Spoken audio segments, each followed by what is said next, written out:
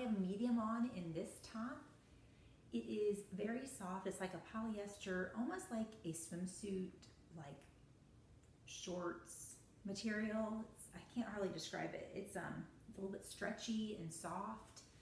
Um, I think it's true to size, maybe a little bit oversized. As you can see, I have plenty of room in this.